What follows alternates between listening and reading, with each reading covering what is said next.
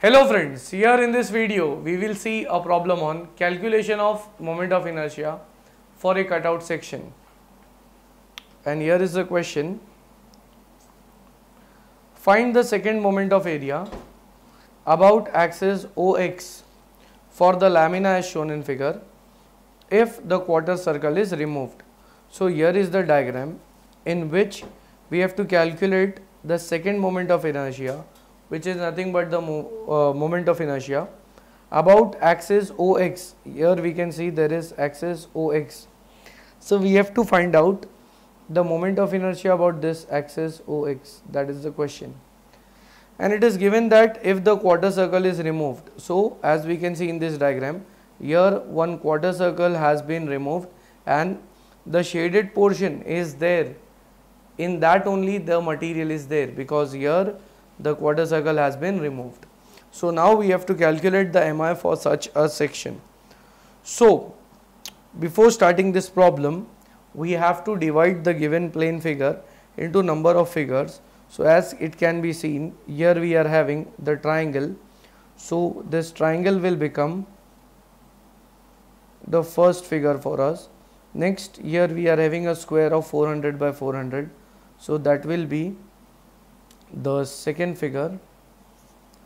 And at last here we are having a quarter circle. So this will be the third figure for us.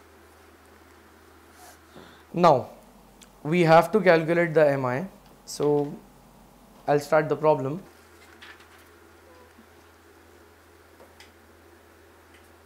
Since the mi for given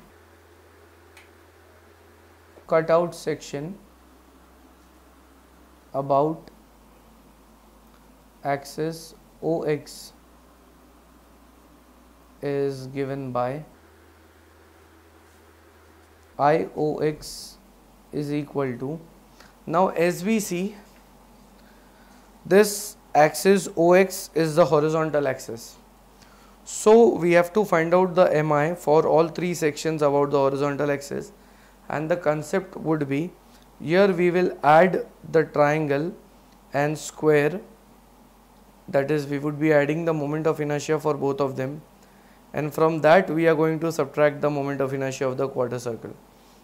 So it will be written as IOX is equal to IXX1 plus IXX2 minus IXX3.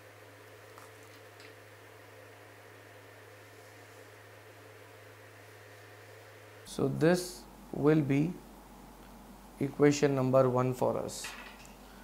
Now for calculating the moment of inertia we also require area. So therefore the next step will be we will be calculating the individual areas. So starting with the first figure which is a right angle triangle here I'll draw it separately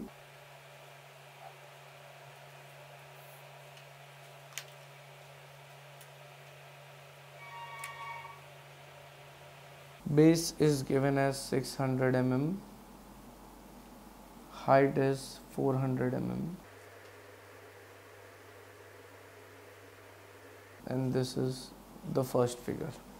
So area 1 will be half into base into height. Half into base is 600 height is 400 so therefore area 1 comes out to be 120 into 10 raised to 3 mm square. Next the second figure is a square of 400 by 400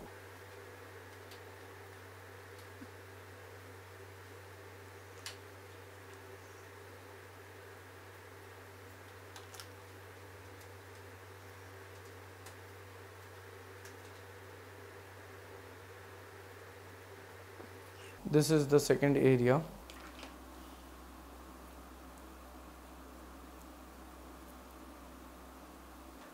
And it is 160 into 10 raised to 3 mm square. Now the third figure which is a quarter circle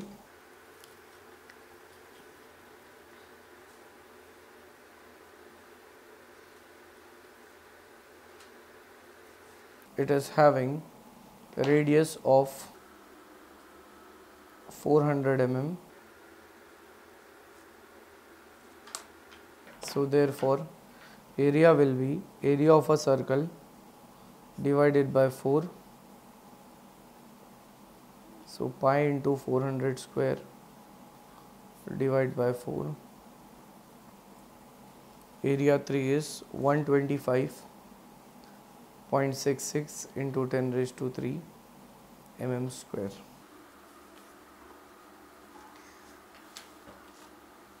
So after getting the individual areas, we can calculate their individual moment of inertia that is Ixx1, Ixx2 and Ixx3. So starting with Ixx1,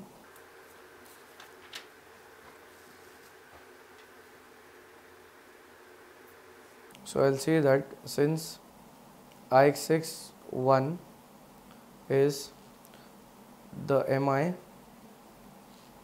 about axis OX for triangle 1 so therefore Ix1 will be Ig1 plus area 1 into H1 square. This is by parallel axis theorem. Now, if we look into the diagram here, then the horizontal axis for the triangle, it is located at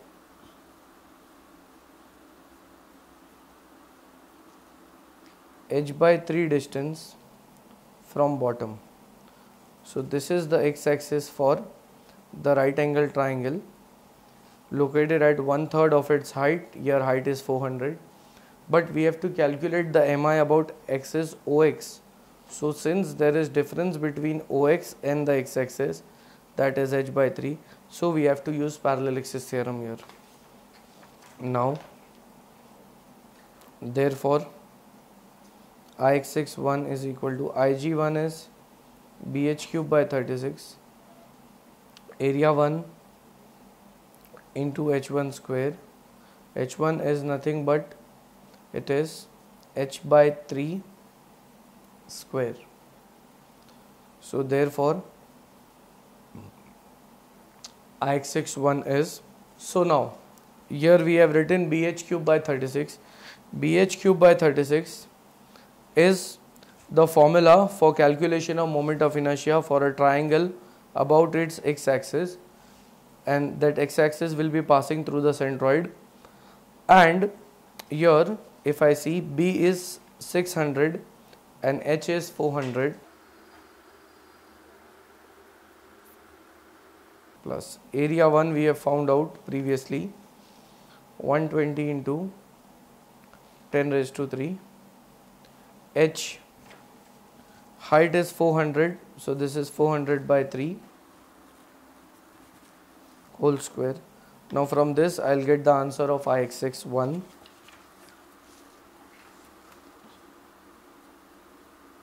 Ix1 comes out to be 3.20 into 10 raised to 6 mm raised to 4 Next, we'll calculate Ixx2. Ixx2 is equal to Mi about axis OX for square which is the second figure for us. So therefore Ixx2 will be Ig2 plus area 2 into H2 square. By parallel axis theorem. so now if we see here the x-axis for the square it will be passing at half of 400 this is the x-axis for the square. But here we have to calculate the moment of inertia about OX so there is difference between OX and this x-axis that is why we have to use parallel axis theorem. And now Ix2 will be here Ig2 is the moment of inertia for the square about its horizontal axis. And the formula is BD cube by 12 plus area is B into D. H2 is the distance between the two axes. So it is 400 by 2 square. So here Ix2 will be. Here B and D values are same for the square. B is 400 even D is 400 area is 160 into 10 raised to 3 and this is 200 square. So from this I'll get the answer of Ix2 which comes out to be 8.533 into 10 raised to 9 10 raised to 9 that will be mm raised to 4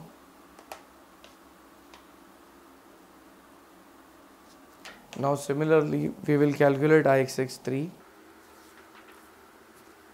So therefore Ix3 is Mi about axis OX for quarter circle which is the third figure for us. Now if we see here then the x-axis for the quarter circle will be located at a distance of 4r upon 3 pi suppose it is here I am taking an example that this distance is 4r upon 3 pi x-axis for the quarter circle and here we have to find the mi about ox so there is distance between the two axes. And since there is this distance it would be called as h3 so here we have ix3 is equal to ig3 plus area 3 into h3 square by parallel axis theorem. So now if we see here Ig3 is the moment of inertia for the quarter circle about its x-axis which is located at 4r upon 3 pi distance from OX so that is 0 0.055 radius raised to 4 that is the formula for a quarter circle moment of inertia about its horizontal axis plus area 3 is 125.66 into 10 raised to 3 h3 is 4r upon 3 pi square. So therefore ix3 will be equal to this is 0.055 radius is 400 raised to 4 plus 125.66 into 10 raised to 3 4 into radius is 400 upon 3 pi whole square. So calculating this throughout we get the answer as 5.029 into 10 raised to 6 mm raised to 4 into it is 10 raised to 9 now after finding all the values, we can put them in equation number 1 to get the total answer. So therefore, put ixx 1, ixx 2 and ixx 3 in equation number 1. So here we have Iox is equal to ixx1 it was 3.20 into 10 raised to 6 plus ixx2 that was 8.533 into 10 raised to 9 minus ixx3 which is 5.029 into 10 raised to 9 because in equation number 1 we were having ixx1 plus ixx2 minus ixx3 that is the moment of inertia for the triangle right angle triangle about its x axis plus the moment of inertia of the square about its x axis minus the moment of inertia of quarter circle about its x axis that will give us the total moment of inertia about OX. So, therefore, here if we go on calculating that will be here we have 3.20 10 raised to 6 plus 8.533 10 raised to 9 minus 5.029 10 raised to 9 and that comes out to be 3.507 into 10 raised to 9 mm raised to 4.